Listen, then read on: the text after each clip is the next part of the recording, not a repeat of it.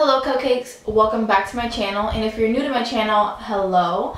Um, this video I am super excited to film. This collection has been very highly anticipated but I will be talking about the Dose of Colors Desi x Katy collab. I am super super super duper excited because Desi and Katy are like my two favorite YouTubers aside from Jaclyn Hill but those two they're my two favorite YouTubers so enough talking, let's just jump right in. I haven't opened the package or anything. Um, this is what the box looks like. It just says dose of colors on it and it is the same nude packaging like their packaging but I'm sure you guys already know what the packaging looks like. I always hate when this happens. Like my box says fragile on it and it has like so many dents and dings. I swear if anything in this box is broken, I'm gonna cry. So when you first open the box, it says Desi X Katy on the lid back here. And there is their little postcard. Dang, they look, they look popping. Alright, here's the front of the postcard and here is the back. They slayed this collection. It is so so cute i did get the eyeshadow so here's like a little eyeshadow guide is what it says it's how to use them since two of the shadows are meant to be used wet and the other two you can use them dry Suz and Harpoon are the two wet shadows and Turbosan and Noli are just the regular shadows. Inside the box, they have the Dose of Colors Desi X Katy paper. I'm going to try super hard not to rip anything because I want to keep this forever. Alright, and they just carefully packaged everything in here. I did get every single item from the collection because I needed it. Like these two YouTubers are like my YouTubers. They're my family basically. I live with them. They just don't know it. So I'm so excited. I, I don't even know what to do with myself. Okay, so I've never bought anything from Dose of Colors directly. This is my first purchase from them. Um, I did do an Ulta haul not too long ago and I bought two liquid lipsticks just to try out the liquid lipsticks. The lip color that I'm wearing right now is Stone by Dose of Colors. So I just wanted to test out the formula before I like I got the package and I was like, oh, I hate it. But I know I wasn't gonna hate it. It's Desi and Katy. Hello. Alright, so their packaging is like this nude bronzy boxing. It just says dose of colors on it. And then on the top of the box, it has their signatures. You can't really see it, but oh, there we go. Um, it says Lustrelux and Desi Perkins. So cool. So I'm going to be going over the eyeshadows first. Wow, this packaging is super bomb. Like, look at this.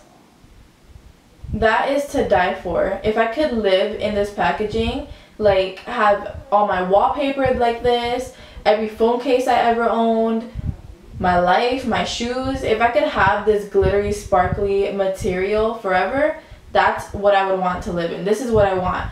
Make my casket in this fabric. well, that's bad. I shouldn't be joking like that. When you open the compact, it has a mirror right here on the bottom. This one's Noli. This one's Suz, this one's Turbosan, and this one's Harpoon. If you don't know, they named all of their eyeshadows after their dog's nicknames, which I thought was really, really cute. That's literally something that I would do. They said to use these shadows with your fingers, like that's how they would recommend it. But I'm also going to do um, finger swatches and a swatch with a brush, just so that way we can get a little idea of how it swatches with a brush. Alright, comparing um, the size of the eyeshadow quad, if you have like a MAC compact, this is how the two compare. They're both about the same size. It's basically like a standard eyeshadow quad. Nothing too special. It's not like an oversized quad and you're not getting a small amount of product for what you're paying. This quad is meant for you to use it as like lid colors. They wanted to make a palette that had really outstanding shadows that you could just go ahead and pop on the lid since you already have like your typical crease colors and your transition shades that you normally use. So I thought that was pretty smart because all of these shadows are super pigmented and just like bam in your face. I'm gonna go ahead and start the swatches. I'm gonna go in with Suz first. Suz is the wet formula. So they just said to take your finger and dip it in some water, which I have handy right here. And you go ahead and swirl it in Suz. And then magic is supposed to happen. It's like a really shiny gold. It's literally like a liquid gold type of shadow. Now I'm going to go with the color Noli. Noli is a dry formula so you just go ahead and throw your finger in the color and swatch it. Oh, these are gonna be bad swatches, Lord Jesus. All right, well, we're just gonna pretend like I swatched that really, really good. This is, once again, the color Noli, and it's like a bronzy gold compared to Suz. Suz is more of like a champagne bright gold, and then Noli is like a bronze gold. These next two shades I am in love with. They're so unique so I can't wait to play with these two specifically. Turbosan is like a bluey, purpley brown. I don't even know how to explain it, but it's really, really nice. That's Turbosan. That is such a unique color. It kind of reminds me of the MAC Blue Brown pigment, but in a pressed version. So that's really cool. I also want to add that these shadows, just like my first impression of swatching them, they're so buttery and they go on so smooth. I'm really happy that this is like the formula of them because I don't have to work too hard to get any pigmentation out of it. I'm going to be saying that I'm excited a lot about this collection because I am excited. Who wouldn't be excited? Alright, and then the last shadow out of the quad is Harpoon.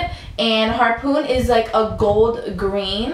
And this color is another one that you're supposed to use wet. So you just go ahead and take your finger again and dip it in some water, swirl it around in the color Harpoon.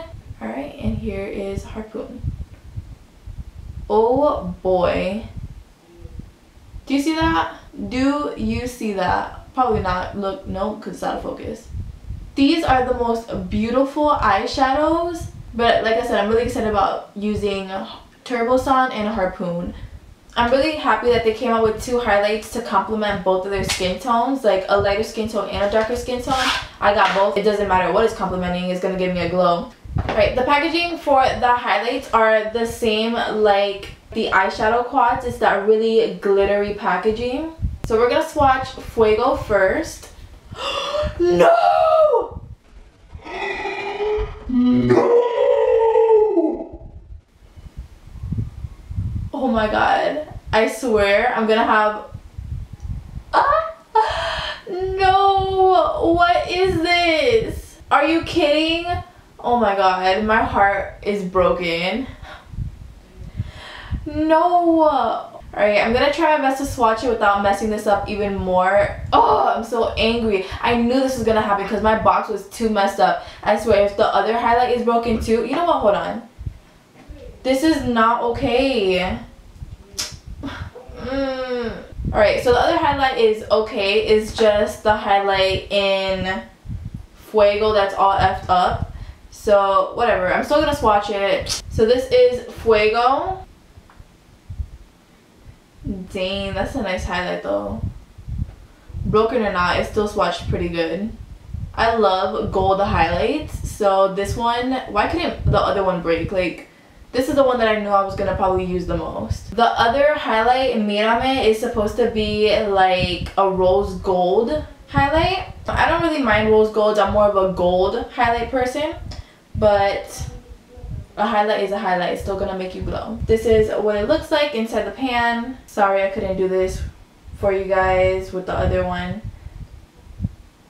And that is Mírame. They're both really blinding. I love that. I love a good blinding highlight. I'm not for the subtle highlight. I want my highlight to show. I want you to see that I'm wearing highlight. I want you to see that I'm doused in highlight. These formulas are a nice soft touch formula. If you're familiar with the Laura Geller Gilded Honey, that's like more of a hard formula. They're not like that. They're really buttery and they go on smooth and they're smooth to the touch. Now going in with the lip colors, they came out with two liquid lipsticks, two regular lipsticks, and with the lip gloss. The lip gloss is called Over the Top and it's in this beautiful gold packaging it has gold reflex in there but they say it's not um, really chunky glitter. And I do like the applicator that it comes with. This is one of those flat top ones that it's flat on both sides. I love that because you can really get in around the edges and on the corners of your lips. I will do a close-up of all the swatches of the lip colors and stuff on my hands. So for right now just bear with me So the gloss, it is a little sticky, but it's not super sticky to the point that you get like that line in between your lips. I'm just tapping it against my skin to see how sticky it is and what the consistency and the formula of it is. But first impression wise, um, the glitter, the glitter, the gloss is really nice. The glitter is kind of throwing me off a little bit, so I don't know how um, I'll like that. But so far, so good. As for their liquid lipsticks, they came out with a bright red and a dark purple. The dark purple is definitely up my alley because I love dark lips. Okay, here's the packaging for the liquid lipstick. It is a little different from the normal liquid lipsticks that Dose of Color sells. It has that velvety, soft touch packaging, which I love. It's similar to the NARS packaging. It's so like chic and sleek with like the gold and the nude really nice packaging. This is the color Hot Fire. It's a super bright orangey red. It's literally hot fire. This is the applicator to it. It's the same applicator like in the normal Dose of Color liquid lipsticks. I do like this color. I feel like Hot Fire is going to be one of those colors that is going to be really suitable for any skin tone. Whether you're really pale or medium to super dark, this color is going to look really good on you since it has those orange undertones it just brings out a little bit more pizzazz to your look. It does not go on streaky but you I think you'll probably have to put on maybe two coats to make it look fully opaque. The next color